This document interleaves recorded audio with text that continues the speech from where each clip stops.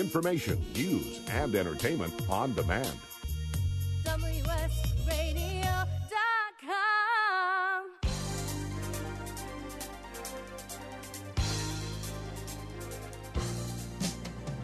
Welcome to Moving and Motivating Radio.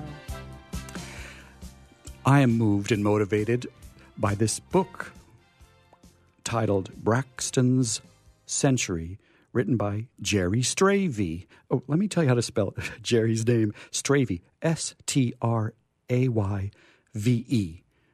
Jerry Strayve. You- You're here at WSRadio.com to promote your wonderful book, Braxton's Century. And people can get the first chapter just by, uh, in their browser, worldwideweb.braxtonscentury.com, and get that first chapter.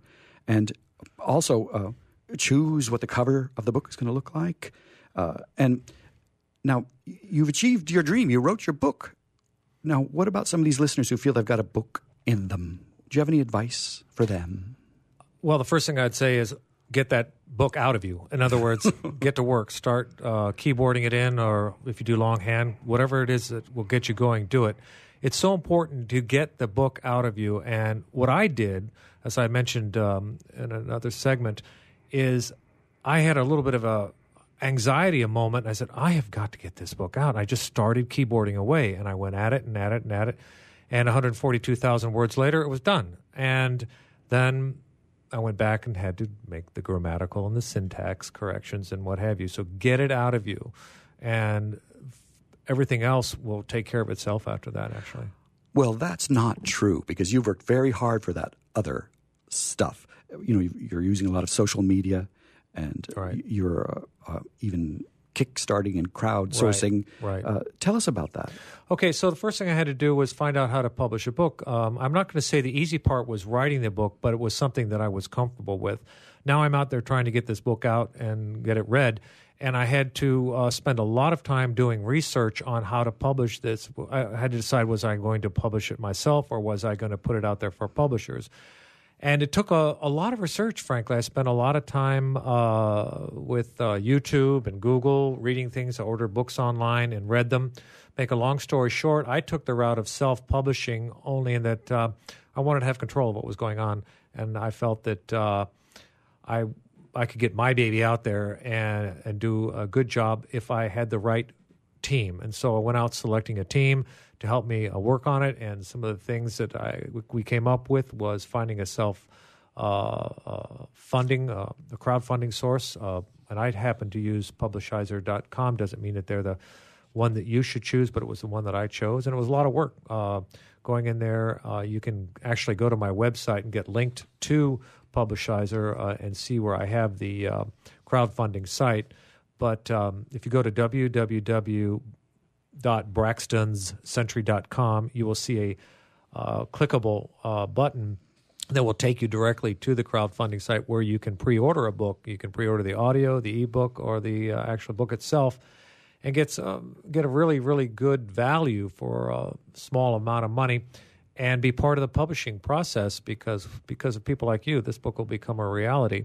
Now, another thing I wanted to talk about, if you don't mind, is um, you will spend a lot of time on social media. I spend uh, an hour or so every day going out and publish, uh, you know, posting things about the book. You've got to get it out there. Whole idea is you must get people interested. And by that, have them coming to your site, gathering their emails so you can keep them updated and excited about what's going on. And you know, you gave them the first chapter. You've got them involved by potentially picking the cover. You're going to give them a second chapter, Right, right. and uh, you're actually wanting input from them too. Yes, yes.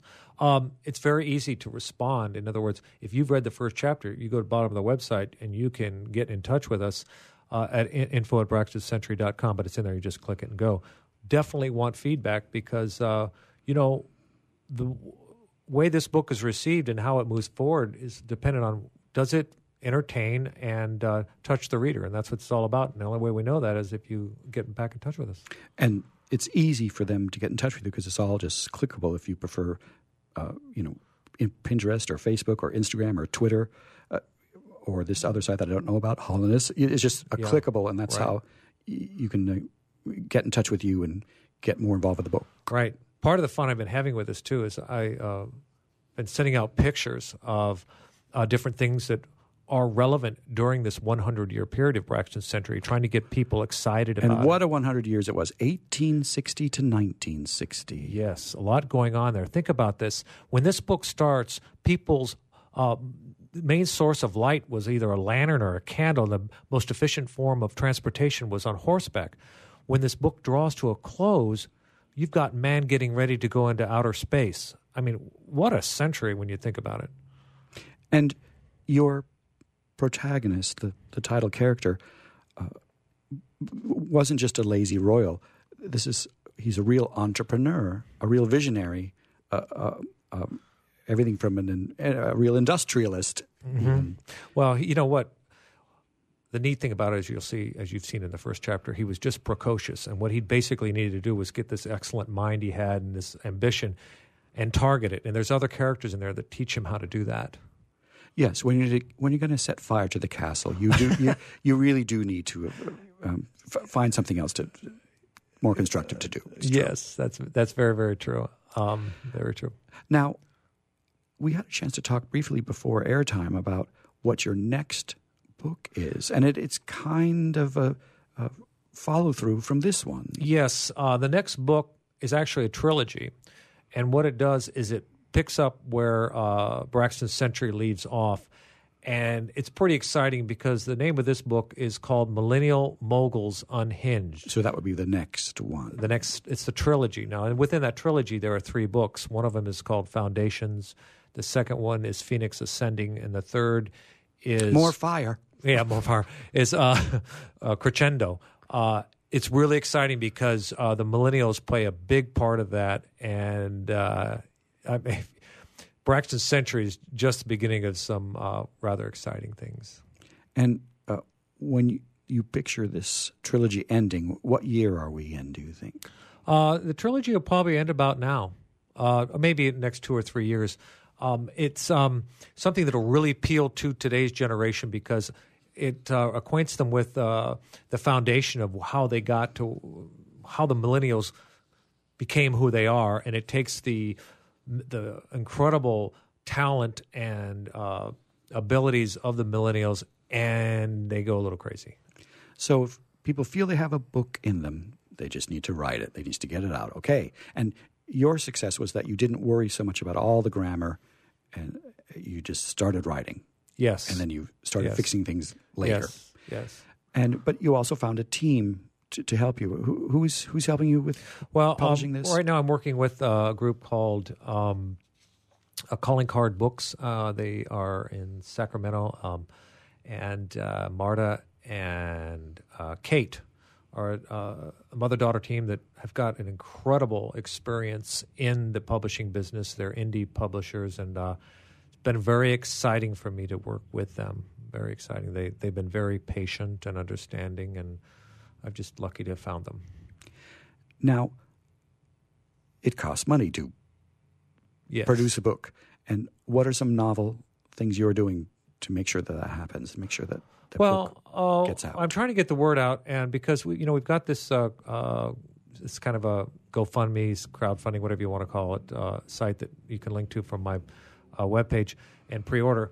That money is uh, goes to the costs of the publishing because you know there are a lot of costs, such as it, it costs two to four thousand dollars to get the editing, content editing. I'm a great writer; I can tell a story, but I'm going to tell you what if I don't have an editor, it's just not going to make it. Okay, so the the content editing is huge, and Um, everyone has an editor, don't they? they better. Yeah.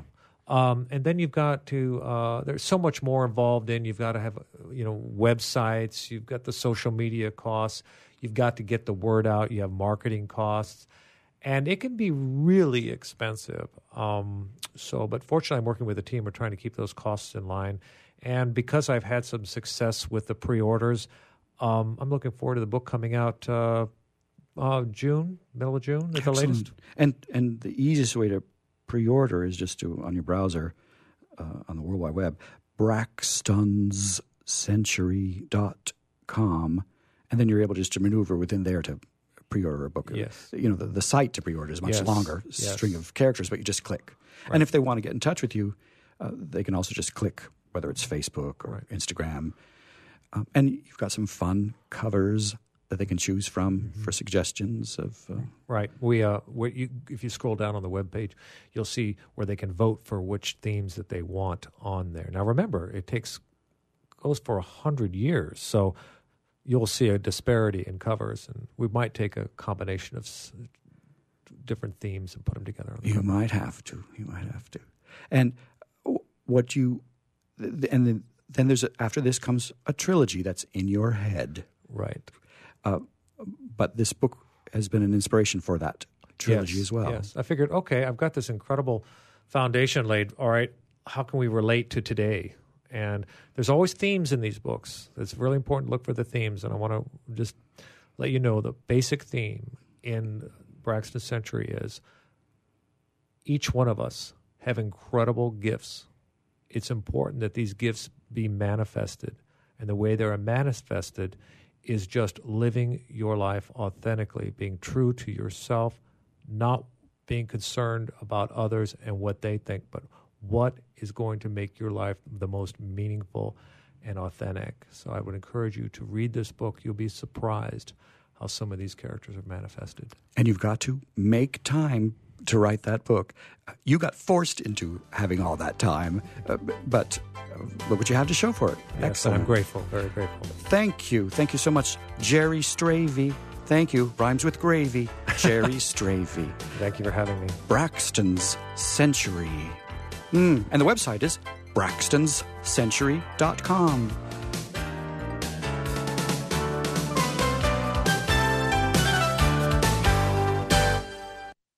of presentations with no impact, no inspiration, and no traction? Do dull speakers have you and your team disengaged and distracted by smartphones? Christopher McAuliffe brings energy, insights, and two decades of experience, delivered with punch, humor, and heart. Your team will leave energized, uplifted, and with a sense of purpose. Visit ChristopherMcAuliffe.com to bring some heat to your next speaking engagement. M C A U L I F F E. ChristopherMcAuliffe.com. In the military, things can change in an instant. Your personal life is just the same. Just like you protect our country, you want your family protected. That's why thousands of military members trust Navy Mutual Life Insurance. Navy Mutual is nonprofit, providing current and former Navy, Marine, and Coast Guard families with life insurance, no sales fees, and no military service restrictions. Protecting members on active duty and beyond. Call 1-800-628-6011. 800-628-6011. NavyMutual.org. Insuring those who serve. Do you want to be a professional coach? Are you in business trying to make a real difference with people you manage or work with? Have you started a coaching practice that isn't quite getting off the ground? Get the skills you need to be a successful coach today with the Coaches Training Program from Accomplishment Coaching. The Coaches Training Program will show you how to help others focus and be more fulfilled. Whether you want to improve your company's bottom line or create a thriving coaching practice, Accomplishment Coaching can give you the distinctions and practices you need to coach others effectively today. Accomplishment Coaching has spent six years developing a cutting edge coaches training program that will have you ready to coach people professionally in just 12 months, and you don't have to take time off work to do it. To find out more about the Coaches Training Program, just call 1 888 548 6813. That's 1 888 548 6813. Kenja Dixon was crowned the number one sales executive through hard work, deep thinking, and the revelation of universal talk laws. He now wants to share these lessons with you. Universal talk laws are what you need to know and use in business and at home to have successful and effective conversations. Kenja Dixon shares his wisdom, action plans, and wealth. Each book comes with a chance to win $10,000. Find Universal Talk Laws at kenjadixon.com. On the internet, your business's reputation can be unjustly destroyed in an instant. Don't wait for that to happen. Building and marketing your five star reputation can increase your business by as much as 19%. Take control of your reputation and have the five star reputation you deserve with Reputation Marketing Solutions by DSI Development. Become the go to company by visiting 5starrepmarketing.com. The number 5 starrepmarketing.com.